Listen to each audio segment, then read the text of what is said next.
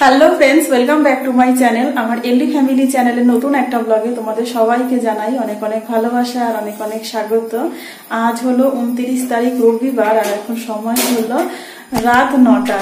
তো এখন থেকে ব্লগটা স্টার্ট করছি। ব্লগটা স্টার্ট এখন থেকে করলাম এই কারণে এখন চলছে রান্নাঘরের ঝড়। কি টাইপের ঝড় চলছে তোমরা না দেখলে বুঝতে পারবে না। তো চলো তোমাদেরকেও দেখাই রান্নাঘরে কি চলছে।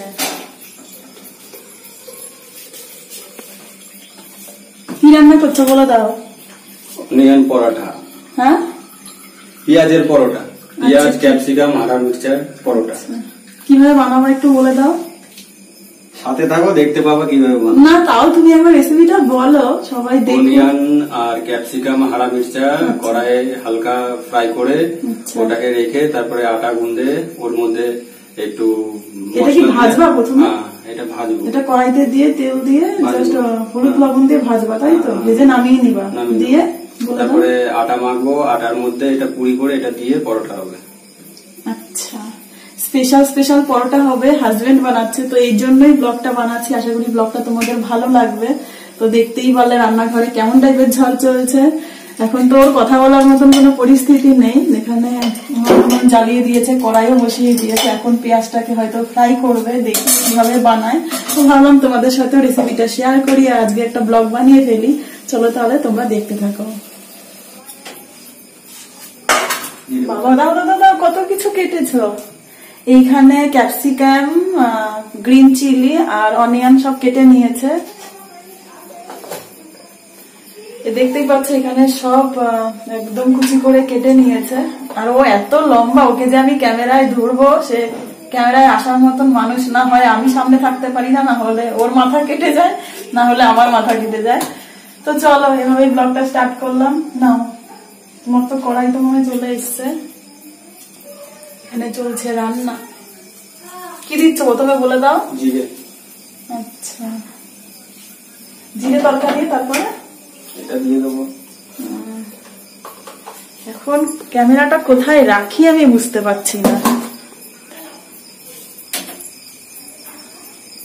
পুরো অন্ধকার আসছে এখানে।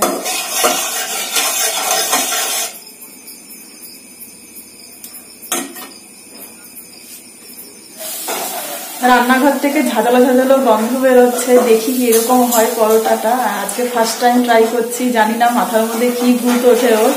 পরোটা ইউনিক পরোটা, শুধু ইউনিক পরোটা ছাতুর পরোটা, আলু পরোটা, গাজরের পরোটা, বিটের পরোটা, আজকে পেঁয়াজ পরোটা।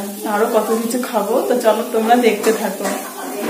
ও পরোটা ভাজছে এই ফাঁকে আমি ঘরে চলে এলাম আর ঘরের মধ্যে যে জামা কাপড়গুলো অগোছালো ছিল সেগুলো একটু গুছিয়ে নিলাম। কারণ সারা কোনো কোনো দিন এরকম হয় ব্লগিংয়ের কাজ করতে করতে মোবাইল নিয়ে এতটা টাইম কেটে যায় যে ঘর গুছানো হয়ে ওঠে না। কোনো দিন একটু অগোছালো থাকে, আবার কোনো কোনো দিন হয় যে না, গুছিয়েও রাখি। তো এখন দেখছি ঘরটা অগোছালো রয়েছে। ও যেহেতু রান্নাঘরে কাজ করছে, তো আমি এই ফাঁকে ঘরটা একটু গুছিয়ে নিলাম। আর কালকে যেহেতু জন্মাষ্টমী তাই আমি সন্ধ্যাবেলায় সব কিছু রেডি করে রেখেছি। রেডি করে বলতে থালা, বাসন সব মেজে ধুয়ে রেখেছি। কালকে যেহেতু পুজো দেবো আমি। এবার এখানে তো সেইভাবে আর জন্মাষ্টমী পালন করা হবে না। যতটুকু অল্পের মধ্যে যা হয় সেইভাবেই জন্মাষ্টমী পালন করব। আর কালকে তো ব্লগ অবশ্যই বানাবো, তার জন্য একটা আলাদা ব্লগ হবে। তো তোমরা দেখো, অবশ্যই ভালো লাগবে। চলো দেখি পরোটা ভাজা কত দূর, ঘরের মধ্যে অনেকক্ষণ ছিলাম। আর ভালো লাগছে না। গিয়ে দেখি ওর রান্না কত দূর হলো। পাখাটা বন্ধ করি লাইটই বন্ধ করে দিয়েছিলাম পাখা বন্ধ করতে গিয়ে। কত দূর? হয়ে গেছে? মাত্র বসালা নাকি? এখানে চলছে পরোটা ভাজা।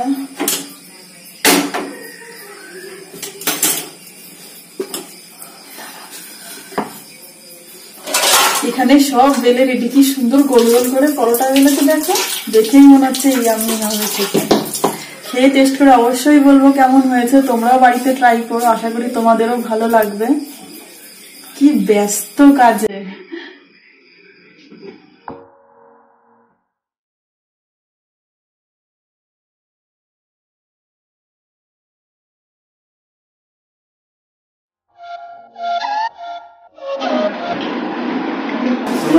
সবাই ট্রাই করবা। অনিয়ন পরোটা খেতে খুব টেস্ট দারুণ টেস্ট হয়েছে পরোটা। মানে ভাবতে পারিনি ফার্স্ট টাইম ট্রাই করল। ওর মাথায় কি জানি না মাঝে মাঝে ট্রাই বলে। ও শুধু পরোটা রুটি এগুলো খুব ভালো লাগে। ওর পছন্দের জিনিস। ও সবসময় বলে যে ইউনিক কি করা যায়? তো আজকে অনিয়ন পরোটা হয়ে গেল। তার মধ্যে একটা দুটো ক্যাপসিকাম দিলে টেস্টটা ভালো হয় যেটা আমি করেছি। অন্যান্যের সাথে দু তিনটে হারা মির্চা আর একটা ক্যাপসিকাম টেস্ট পুরো অন্যরকম হয়ে গেল আর সাথে আছে ফুলকপির তরকারি দুপুরবেলা করেছিলাম ফুলকপি আলুর তরকারি। মানে এর সাথে জমে গেছে দুটো। তোমরাও ট্রাই করো? ও বলতে ভুলে গেছি।